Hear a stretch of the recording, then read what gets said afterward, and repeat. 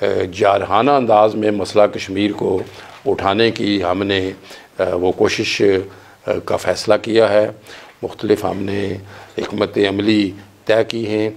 सबसे पहले हम आज़ाद कश्मीर की तमाम सियासी जमातें, मकातब फ़िक्र जो हैं, वो हम यहाँ से इस्लामाबाद में एक रैली से शुरू करेंगे।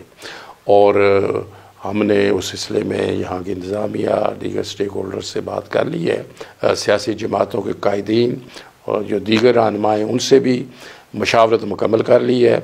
और अब हम ये 24 फरवरी को हम इस्लामाबाद में एक रैली का आगाज़ कर रहे हैं, जहाँ से हम ये शुरू होगी इस्लामाबाद प्रेस क्लब से और डी चौक तक हम सब कश्मीरी वो मार्च करेंगे।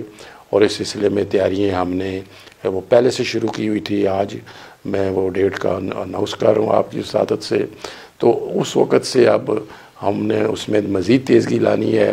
जितने भी कायदीन हैं वो आज़ाद कश्मीर के मुख्तलिफ़ शहरों में और पाकिस्तान में भी जहाँ जहाँ बिलखसूस इस्लामाबाद के जो करीबी शहर हैं, उनमें हम जाके मोबलाइज़ करेंगे ताकि ये एक तारीख़ी किस्म की कश्मीरियों की रैली हो और उस, उससे हम एक वाजिया पैगाम दे सकें, बिलखसूस मकबूजा कश्मीर के लोगों को।